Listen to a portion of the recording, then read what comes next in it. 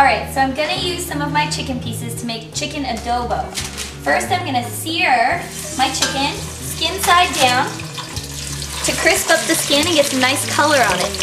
I learned this recipe from my college roommate who was from Guam.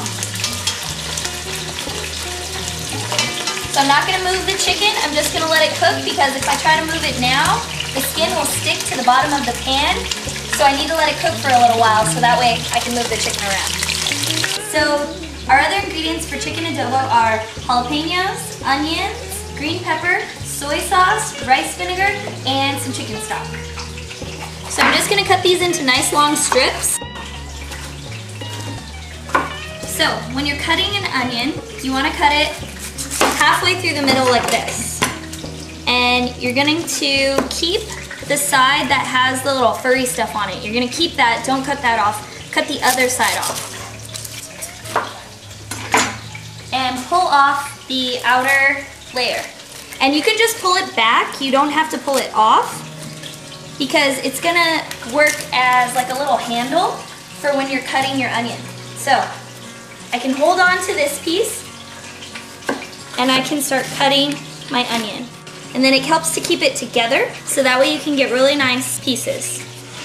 I removed the seeds from the jalapeno and I'm just gonna chop it into nice little strips.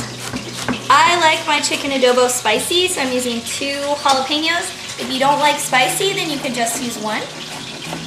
It's starting to get nice and brown on one side, so I'm gonna flip it over. And after I flip it over, I'm gonna add all of my vegetables.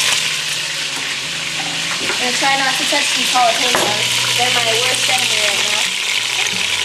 Now I'm going to add my rice wine vinegar, my soy sauce, and some chicken broth. There we go. And I'm just gonna let this cook for about 20-30 minutes until the chicken is cooked through. I'm going to plate my chicken adobo. It's all cooked and um, my friend, who knows a lot about chicken adobo, told me that the way you know it's done is when you don't smell the vinegar anymore. So, that's a little secret for you if you're making chicken adobo at home.